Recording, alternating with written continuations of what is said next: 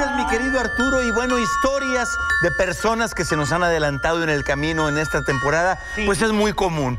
Y mire, también lo que se ha vuelto muy común es ver manifestaciones en las casas.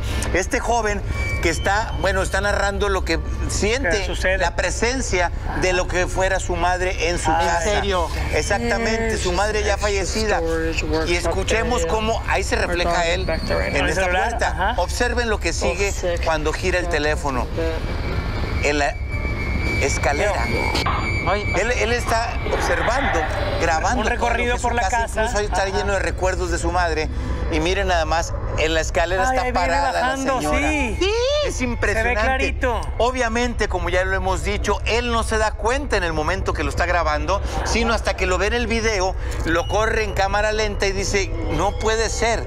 Y ahí está. Ahí está, mira, ahí con, va. ahí con va la bata y la todo, escalera. ¿no? Se ve más o menos. Exacto, mira, ahí, ahí está, ahí está en el fondo, ahí está paradita la señora.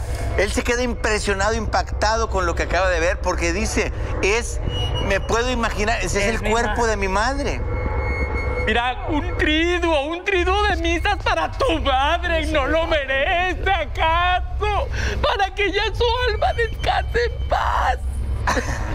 Ha de estar en el purgatorio, seguro. No, doctor. en el limbo. Se fue al cielo, doctor. Oye, de plano tantita agua bendita para que se vaya. Pues sí, mira, no está por demás echarse una rezadita, la verdad, pero son man- imágenes impactantes que nos llenan de emoción. La mejor opinión, la de usted. Esto fue... Lo desconocido.